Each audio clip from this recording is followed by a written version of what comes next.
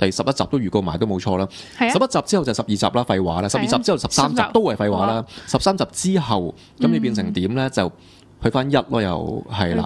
咁就誒。嗯其實會係一個可以咁講啦，一個新節目啦，嗯就都係我同你咯，嗬。係啊啊，，咁又唔知有冇中間嘅黑影噶啦，咁但係就誒、呃、會唔個名唔會再叫都市黑幕，咁但係都市黑幕只係季度嘅一個暫停啦。誒、嗯出咗新節目之後，咁之後都市黑幕仍然係會翻嚟嘅。咁 anyway 咁就係啦，誒、解釋咗解密呢個節目準備會嗯緊接都市黑幕，都市黑幕只係好似誒世界盃暫停暫時完咗咁啦，即係過啲時即係意思係四。年之後先翻嚟，哇！四年，我唔敢肯定，我四年答你唔到啊。未來啦，嗯係會翻翻嚟嘅。嗯好，因為誒，正如好似好似呢一件 T 恤咁啦，咁咪高身少少。今次個集數咧就係第十三集，嗯第十三集代表咩咧？阿晴第十三集就代表呢一季結束啦。係啊，一季結束。嗯，咁誒，正所謂咧，冇正所謂嘅喎係。咁呢季結束咧，係係會唔會